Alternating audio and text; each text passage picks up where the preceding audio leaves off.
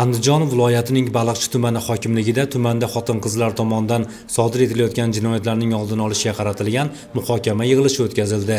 Dastlab tadbir ishtirokchilari e'tiboriga bilib bilmay jinoyat sodir etgan ayollarning afsus nadomatlari aks etgan videorolik namoyish etildi.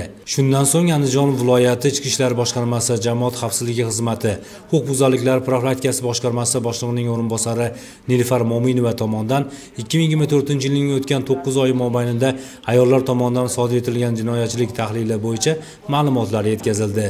Darhaqiqat ijtimoiy xavfli hodisa bo'lgan jinoyatchilik barcha davrlarda jamiyatning ma'naviy iqtisodiy siyosiy tomonlariga shikast yetkazadi. Ayollar tomonidan jinoyatlar sodir etilishi esa ushbu jarayonni ikki karra tezlashtiradi. Chunki har bir ayol u jamiyatda qanday vazifani bajarmasin avvalo ona oilaning ma'naviy tarbiyachisi hisoblanadi.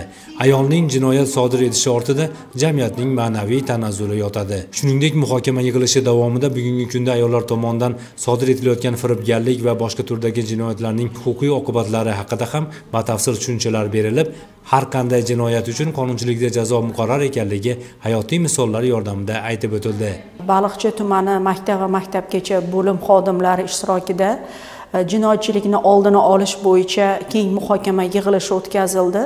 Albatta har bitta jinoyatni e, muhokama qilishdan ko'ra uni oldini olish e, biz uchun eng muhim masala hisoblanadi. Xotin qizlar tomonidan sodir etilishi mumkin bo'lgan ma'muriy huquqbuzarlik va jinoyatlarni oldini olishga bag'ishlangan qisqa qisqa videoroliklar e, butun bir xotin qizlarni shu jumladan maktab va maktabgacha ta'lim tizimida faoliyat olib borayotgan barcha xodimlar tomonidan e, jinoyatlarni oldini olishga xizmat qiladi. O'tkazilayotgan bu kabi tadbirlardan ko'zlangan asosiy maqsad xotin qizlar tomonidan sodir etilishi mumkin bo'lgan jinoyatlarni barvaqt oldini olish hamda ayollarning jamiyatdagi faolligini yanada oshirishdan iboratdir.